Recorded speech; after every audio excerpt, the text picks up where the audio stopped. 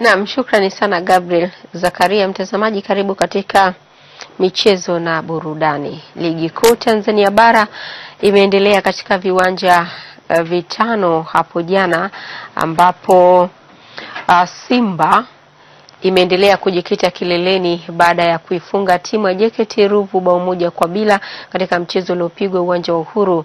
Mara baada ya mchezo kumalizika, makocha wa timu zote mbili Jackson Mayanja na Bakari Shime wakazungumzia mchezo huo. Timu ya JKT uh, kipindi hichi imecheza mpira open game kuliko mechi ya mwanzo.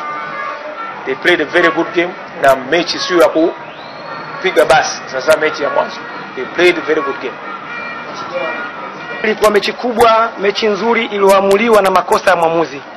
Kwa hiyo ukienda upande huo unapata sababu kidogo, lakini kila mmoja ameona kwamba, sitaki niseme amefanya vile kwa sababu gani, lakini labda ni ubinadamu umempitia. Kwangu mimi halikuwa goli bora la kuamua matokeo ya mchezo wa leo. Na bao la Simba limefungwa na mchezaji Mzamiri Yasin kipindi cha pili cha mchezo.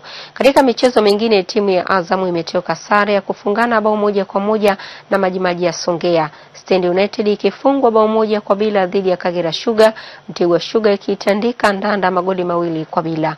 Nayo timu ya Mbao FC imefungwa bao moja kwa bila dhidi ya Mwadui FC na Mbeya City ikitoka suluhu na Toto Africa.